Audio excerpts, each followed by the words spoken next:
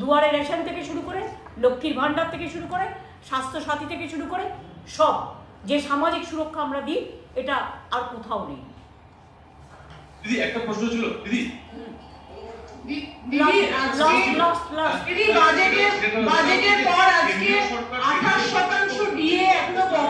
BJP আন্দোলন করছে। দিচ্ছে বলছে বাজেটে কোনো উল্লেখ নেই।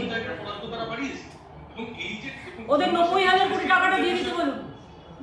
ওদের বলুন আন্দোলন করার অধিকার তাদের থাকে, যারা দেয়। আমাদের প্রাপ্য টাকা নব্বই হাজার কোটি টাকা দিতে বলুন। আমরা অলরেডি অনেক দিয়ে দিয়েছি। সেন্ট্রাল গভর্নমেন্টের কাছে রিজার্ভ ব্যাংক আছে। তারা যেটা দিতে পারে আমরা দিতে পারি না। তার কারণ হচ্ছে আমাদের কাছে ক্যাপাসিটিটা নেই। আমাদের টাকা ওরা দেয় না। আমাদের টাকা আটকে দেয়। তাদের হাতে নোট ছাপানোর ক্ষমতা আছে। আমাদের হাতে নেই।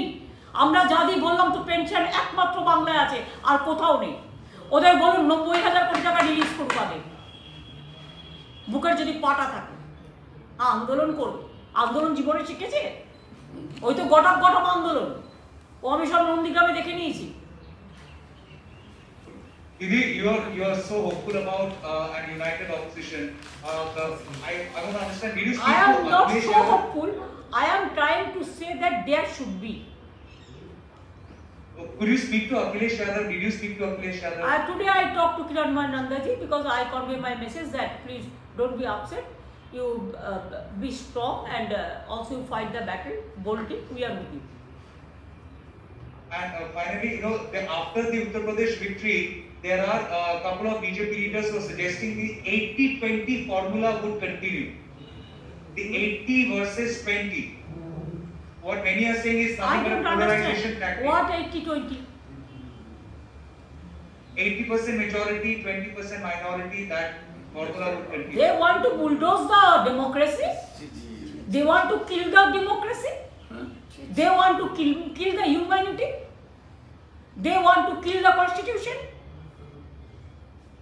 What do you think? India is a democratic country. They have seen one-sided the forcefulness, evictions, but they have not agency, but they have not seen the public movement. Don't forget the Jayapakar Narayan movement or the other movement. Please remember this.